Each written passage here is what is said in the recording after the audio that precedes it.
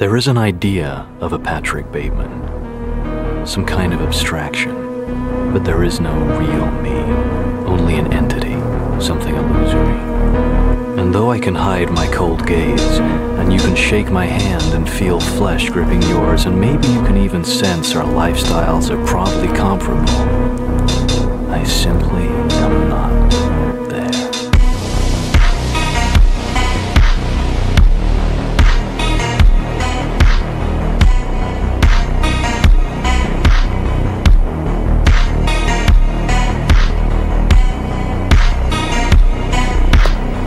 Hi, Pat Bateman. Nice to meet you.